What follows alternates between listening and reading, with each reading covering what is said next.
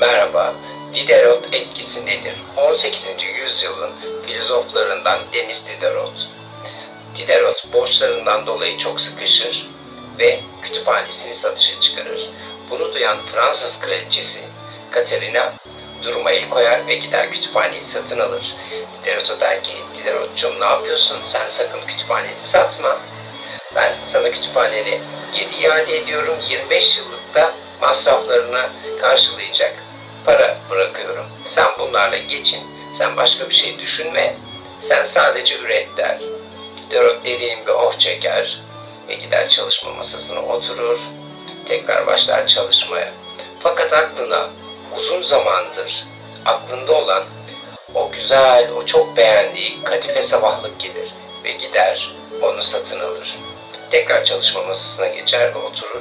Bu sefer sabahlığıyla çalışma masasının uyumlu olmadığını görür ve çalışma masasını değiştirir.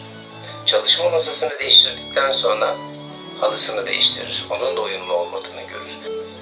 Daha sonra sırayla bütün eşyaları değiştirir ve Diderot elindeki bütün parayı harcar ve tekrar borca batar.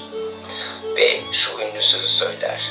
Eski sabahlığımın efendisiyken yeni sabahlığımın kölesi oldum. Buradan çıkaracağımız ders şudur. İnanılmaz bir tüketim çılgınlığı içindeyiz ve ihtiyacımız olmayan her şeyi satın alıyoruz.